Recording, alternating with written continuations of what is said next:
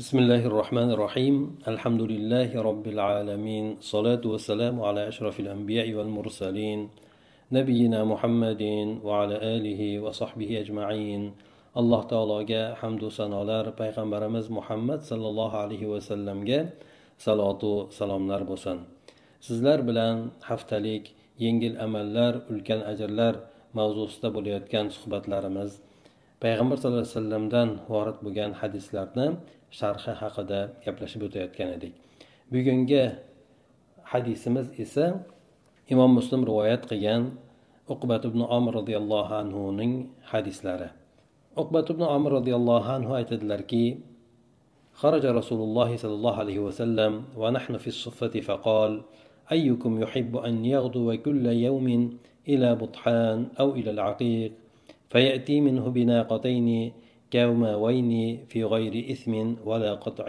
رحم uqbat ibn omir roziyallohu anhu aytadilarki rasululloh sollallohu alayhi vasallam chiqib keldilar deydi ya'ni biz suffada bo'lib turgan paytimizda payg'ambar sollallohu alayhi vasallam chiqib keldi oldimizga chiqib keldilar bu kishi suffada deb aytayotganligi ma'lumki payg'ambar sallallohu alayhi vasallamni davrlarida ashobi suffa bo'lgan edi Ya'ni suffa sahobalardan tashqaridan hijrat qilib kelgan sahobalardan o'zlarini mol mulklari ahli ayollari boshqalarni olib kelishlik imkoniyati bo'lmagan yoki bo'lmasa mol mulkini olib kelolmagan o'zi bo'ydoq bo'lgan uy joyi bo'lmagan ayrim sahobalarni turadigan joyi edi.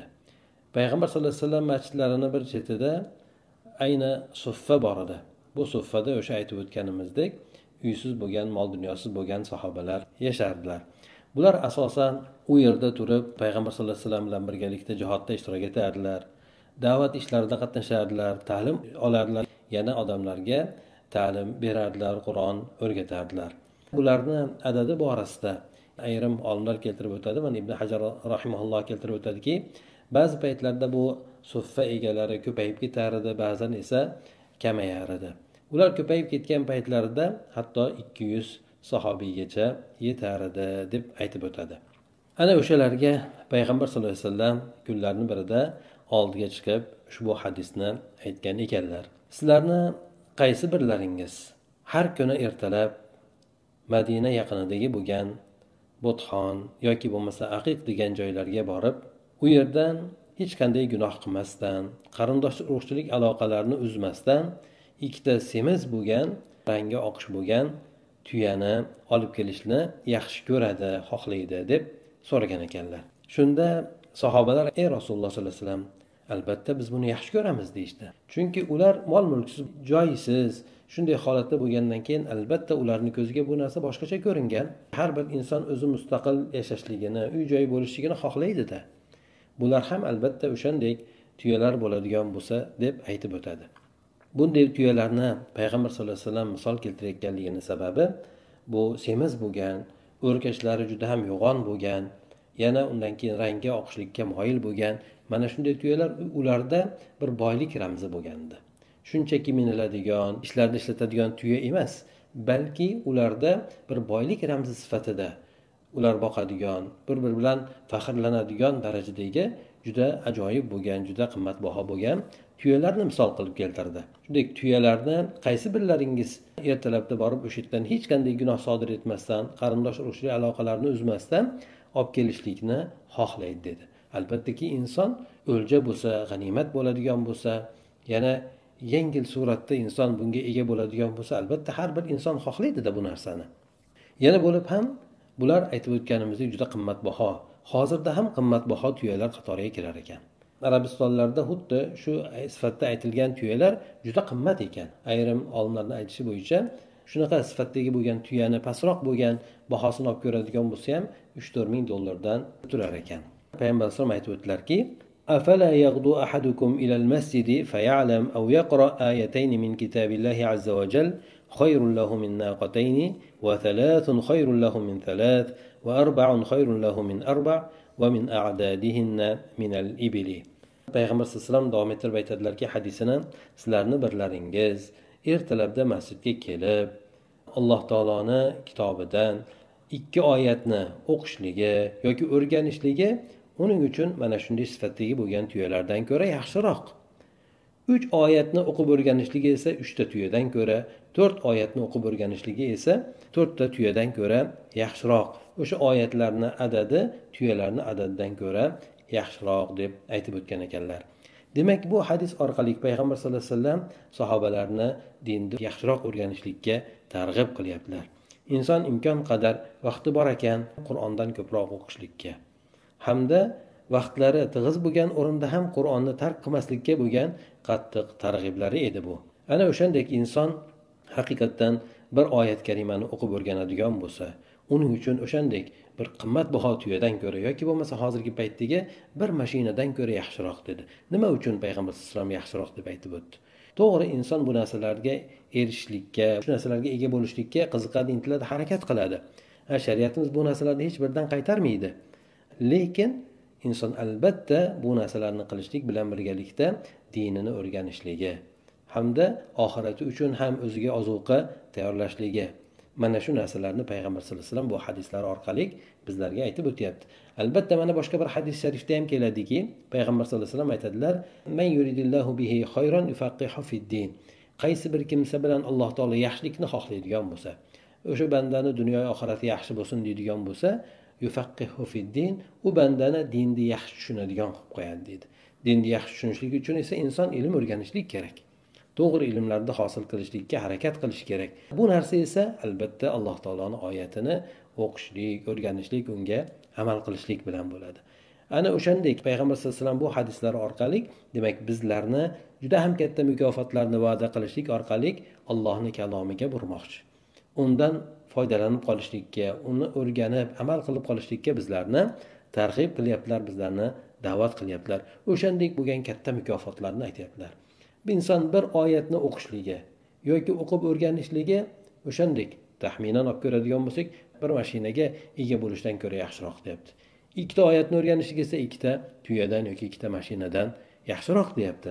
Demak inson bu narsa uchun hech qancha vaqt sarflamaydi lekin mashina olishlik uchun esa yillab vaqtini sarflashligi mumkin. Bu hadisda kelgan mukofotlar payg'ambar sallallohu alayhi vasallam tomonidan aytilgan haq rost bo'lgan narsa lekin bizni o'zimizdagi bo'lgan ishonch bizni o'zimizdagi bo'lgan himmat zaiflashib ketgan bizlarni ko'proq g'aflat bosib qolgan. Ana o'sha g'aflat orqali biz mana shunday mukofotlarni aytib va'da qilingan taqdirda ham e'tibor bermaymiz.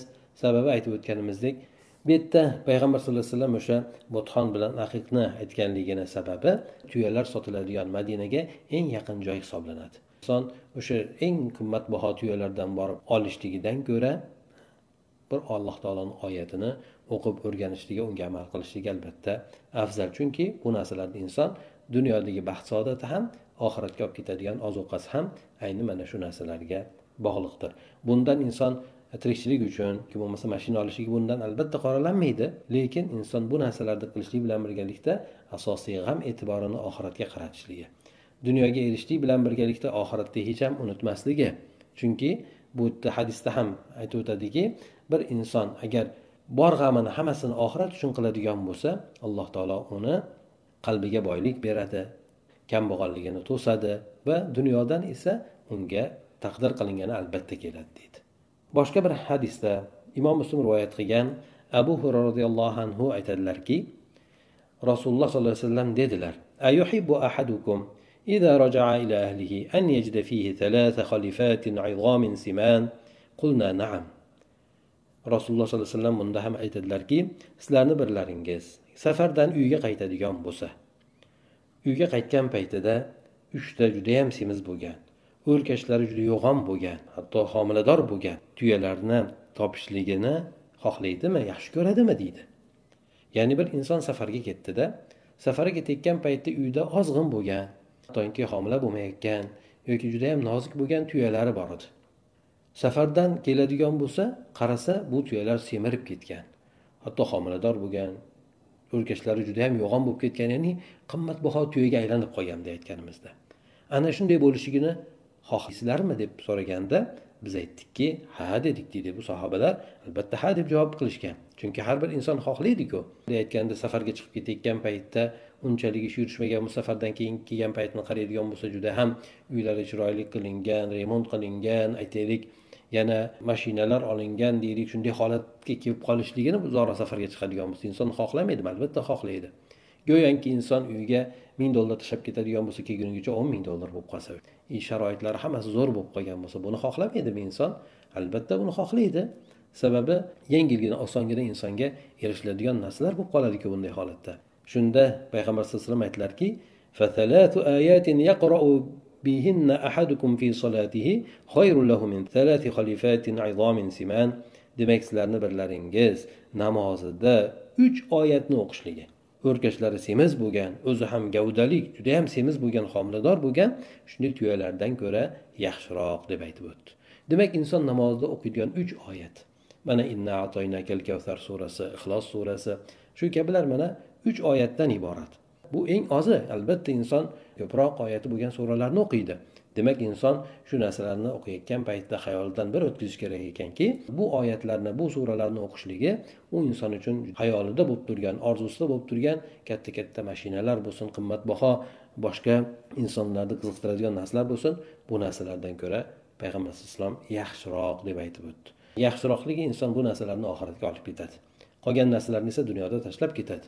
Bu narsalar alloh taologa insonni yaqinlashtiradi. To'g'ri albatta aytib o'tganimizdek dunyoviy bo'lgan narsalarga qiziqib bu narsalarga ega bo'lishlik bor bo'lgan narsa lekin inson oxiratni unutmaslik kerak. Chunki nima bo'lgan taqdirda ham oxirat insonni birlamchi bo'lgan eng muhim ishlari sirasiga kiradi. Ana o'shandek inson qanchalik qur'onni ko'p o'qiydigan bo'lsa unga shunchalik katta mukofot berilar ekan. Oldingi hadisda agar bunday olib ko'radigan bo'lsak mana qur'oni karim olti mingdan ziyod bo'lgan oyatlardan iborat. Ana o'shalarni har bitta oyatini agar hisoblab ko'radigan bo'lsak o'sha payg'ambar alayhisalom aytgan sifatdagi tuyani hozirgi bozordagi miqdori aytib o'tadi uch to'rt ming dollar atrofida deydi. Kamida eng arzonroq bo'lgani. O'shanga agar shu olti ming oyatga ko'paytiradigan bo'lsa taxminan yigirma besh million dollar atrofida bo'ladi. Demak qur'onni o'rganishligi insonni oddiy hisob bilan aytib ko'radigan bo'lsak yigirma besh million dollardan ko'ra uning uchun yaxshiroq ekan deb bu yerda go'yoki aytilayotgandek bo'ladi. Mana shunday inson qur'on o'qishlikka bee'tibor bo'lmasin shuncha mukofotlar aytilyapti. Inson ozgina vaqt sarflab turib katta katta mukofotlarni olar ekan.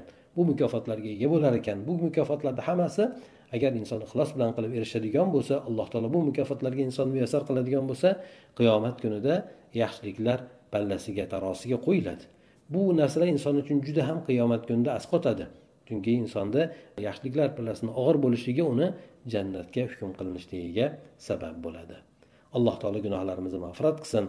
O'zini kalomini yaxshi ko'rib o'qishlikka o'rganishlikka alloh taolo barchalarimizni muyassar qilsin shunga muvaffaq qilsin. Alloh taolo o'zi kamchiliklarimizni xatolarimizni kechirsin. G'aflat uyqusidan alloh taolo hammalarimizni uyg'otib qalblarimizni o'shandek alloh taoloni o'zini kalomini ibodatini bo'lgan muhabbati bilan to'ldirsin سبحانك اللهم وبحمدك نشهد أن لا إله إلا أنت نستغفرك ونتوب إليك. اللهم انفعنا بما علمتنا وعلمنا ما ينفعنا وزدنا علما.